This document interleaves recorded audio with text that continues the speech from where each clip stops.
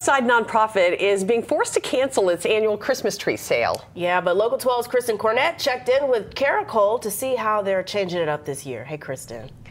Good morning. Well, Caracole supports people in the tri-state living with HIV and AIDS, and their Christmas tree sale usually raises about $10,000 in funds they use throughout the year.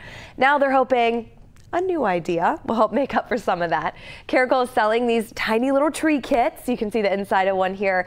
It's inside of a biodegradable ornament with a seed packet, two little peat pallets, everything you need to grow your own Douglas fir tree. So they came up with the idea after realizing increased shipping costs and tree shortages on the East Coast made their usual sale impossible to manage. So Caracole reached out to six of its vendor contacts that usually shop in the Carolinas.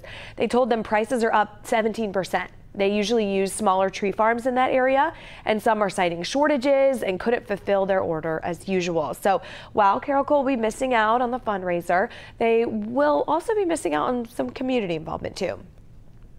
We were a little bit disappointed um, because we're missing that community engagement with the volunteers that help us out year after year. We usually have hundreds of folks come out to help us out.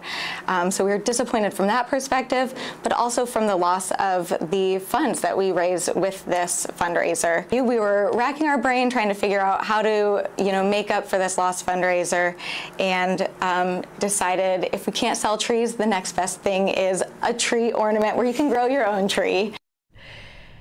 That's right. So the ornaments are for sale right now on Caracole's website. We have a link for you to check it out on local12.com. They're about $25. I have one here so you can check it out. They also have a cheeky custom uh, wrapping paper design that they're selling too. I have a link in the web version of this story if you want to check that out as well. Aaliyah. Thank you, Kristen. Tomorrow is World AIDS Day, and Caracole is holding a memorial event. There will be a quilt signing, live music, and poem readings. It starts at 7 o'clock tomorrow night at First Christian Church.